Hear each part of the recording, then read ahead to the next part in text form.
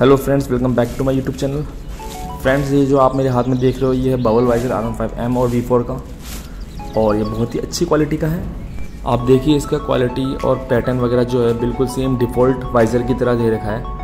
और आप इसे अपने घर पे इंस्टॉल कर सकते हैं इस वीडियो के माध्यम से। ये जो देख रहे हैं जो इसका साँचा वगैरह जो दे रखा है, बिल्कुल सेम स्टॉक वाइज़र की तरह है, जो हॉल वगैरह है। आराम से फिट हो जाएगा परफेक्ट फिट है, ठीक है। जिस तरीके से क्वालिटी दिख रहा है आपको, ये बढ़िया एकदम टफ क्वालिटी लग रहा है मुझे तो ये। तो चलिए इसे फिट करते हैं अपनी बाइक पे।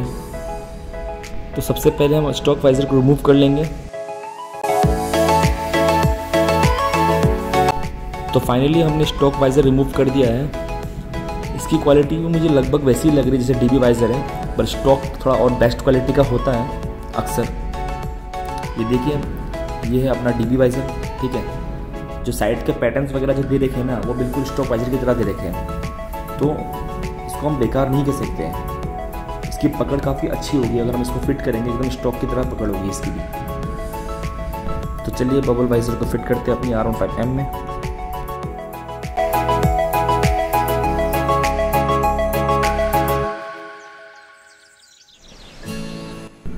तो मैंने वाइज़र को फिट कर दिया प्रॉपरली सारे स्क्रूज टाइट कर दिए मैंने।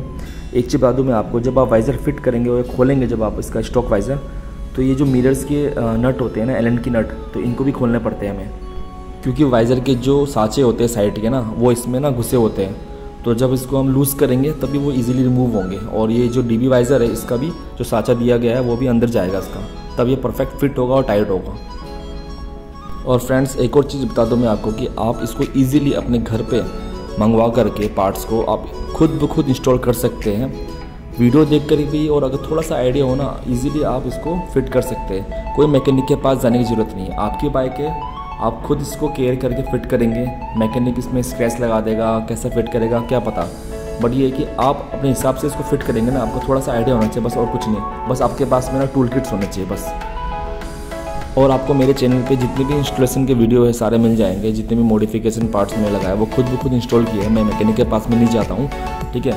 थोड़ा बहुत अगर मुझे आइडिया नहीं होता तो मैं यूट्यूब वगैरह से देख लेता हूँ। और बाकी मैं खुद इंस्टॉल करता हूँ।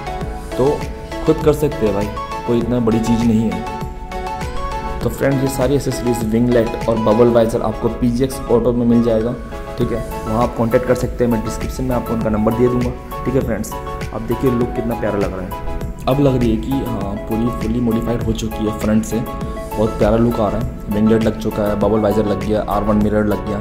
अब इससे ज़्यादा क्या करेंगे? पैटर्न भी डिज़ाइन जो स्टिकर का डिज़ाइन भी वो भी हमने आर वन एम की तरह दे दिया। तो बहुत बढ़िया लग रही है। ठीक है फ्रेंड्स विंगलेट का इंस्टॉलेशन वीडियो और आर वन एम मिरर का इंस्टॉलेशन वीडियो आपको मेरे चैनल पर मिल जाएगा। ठीक है बबल वाइजर का मैंने कर दिया है। फ्रेंड्स अगर आपको वीडियो पसंद आया तो प्लीज़ वीडियो को लाइक करना शेयर करना और मेरे चैनल को सब्सक्राइब करना और प्लीज़ सपोर्ट करिए फ्रेंड्स बहुत अच्छे अच्छे कंटेंट लेके आऊँगा आपको